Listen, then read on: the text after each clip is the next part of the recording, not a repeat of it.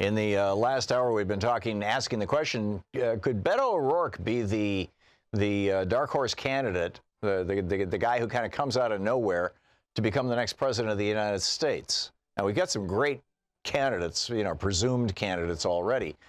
Um, there is, you know, some word that Hillary Clinton is thinking about getting back into the race. Bernie's acting like he's running, uh, as are Elizabeth Warren, Kamala Harris, Cory Booker.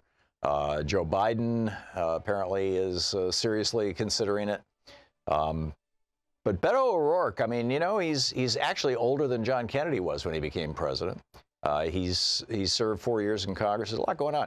Uh, we talked about the the changing face of climate change. We're seeing this now in the forest fires that are burning down California, while Trump has troops cooling their heels down the Mexican border for his pre-election uh, photo op. Uh, we're going to get to my appearance on Fox News yesterday, which was entertaining. But right now on the line with us is our old buddy Wendell Potter. Wendell Potter is a former health insurance expert or executive. He's the uh, he is now an expert on it.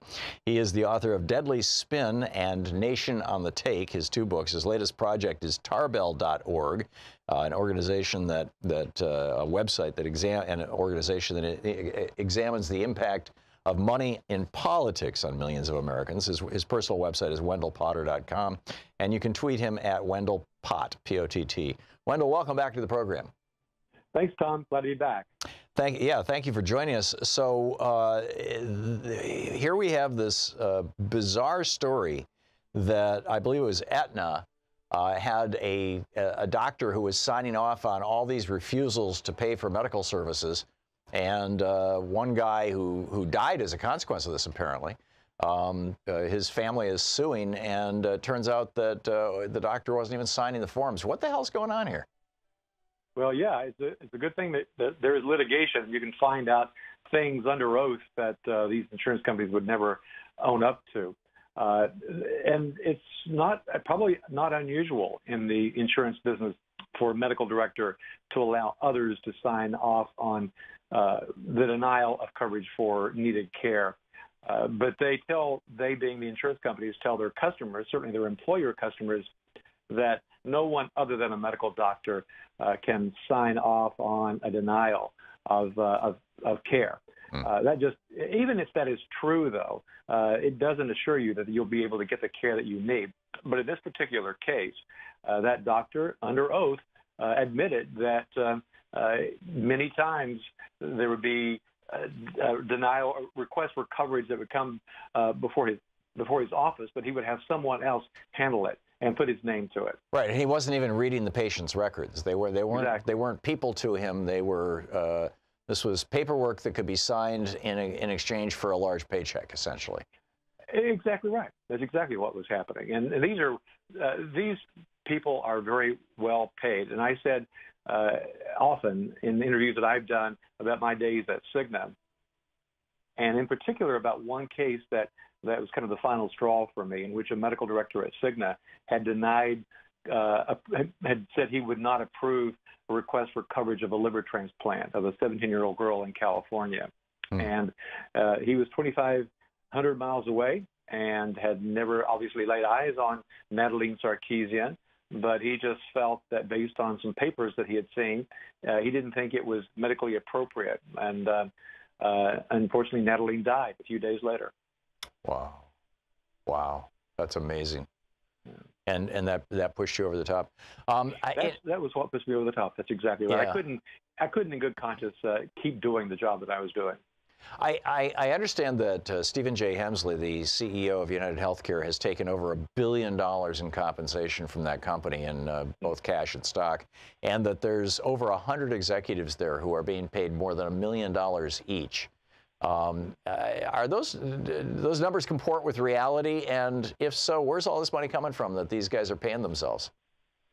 It comes out of your pocket and mine if you have uh, private insurance, and many, of most of us do, at least uh, those of us who are younger than 64. And that's exactly what is going on. Uh, one of the days I I dreaded most, Thom, when I was in the industry, was handling calls from reporters when we announced uh, executive compensation. You have to do that. At least you have to disclose the five most highly compensated uh, employees of your company, if you're publicly traded, uh, to the SEC and filing so that your shareholders can know about it. But it doesn't surprise me a bit that there are 100 at United, maybe some of these other com- uh, companies. And it's not just the executives you probably have heard about and know about, and the the ones that are uh, that have that are in the C-suite, like the chief financial officer or the chief uh, uh, medical officer or technology officer. Often, people who are in sales and marketing at these companies are among the most highly compensated employees in an insurance company. Yeah, I know that for a fact. Because they're making it happen. They're out there. I mean, they're, they're, they're bringing the money in. Yeah, right. I get that. And then and then the other people just keep the money by way of denying de denying right. coverage to people. Um, right. I, I, I, saw an article a couple of days ago that, and then and then immediately the next day I saw an ad on TV um, that I think was for United Healthcare. Uh, but the, the story was that Medicare Advantage, which is hmm. privatized Medicare, um, right. and the, the Medicare Advantage now is able to not only offer dental and vision, which is not part of normal Medicare, Medicare but also will support now in-home services. You know, having somebody come in and install a, a, a bar in your in your a bathtub so that you can get in and out of the bathtub without falling. Uh, having a home health care nurse uh, provide long-term treatment uh, in, in homes. Uh, it seems like a great thing. I mean, these, these should be part of regular Medicare. Um, right. How do the insurance companies offer more than Medicare does for uh, basically, you know, roughly the same price? I mean, this is this is how this is a very large part of the profits of United Healthcare and right. uh, and at the AARP. Uh, is right. it that the government is uh, uh, are, we, are we double paying if I you know if somebody mm-hmm. has Medicare Advantage they're paying a premium to the health insurance company and they're getting benefits from the health insurance company but is Medicare also compensating the health insurance company? No, absolutely. Um, in fact, it's been shown many times over the years that the federal government, through the Medicare program, uh, because the Medicare Advantage program exists, that it is overpaying these private insurance companies a lot of money uh, to participate in this program. It started largely uh, during the Bush administration, the George W. Bush administration, uh, as one of the, the, efforts of trying to privatize uh, the Medicare program. And over time, uh, it's largely been working because you've got about a third of Medicare enrollees now enrolled in these kinds of plans. Uh, the companies advertise, I mentioned earlier, marketing, uh, but they spend enormous sums of money trying to get seniors uh, who are Medicare eligible to sign up for their Medicare Advantage plans. I've been every if you're if you're uh, older, if you're Medicare eligible, undoubtedly you're getting a lot of uh, pieces uh, in the mail from insurance companies, and you're seeing it on TV, and that's what's happening. They they are they have become cash cows because of these overpayments and because of other things that these companies are doing that they don't tell you about.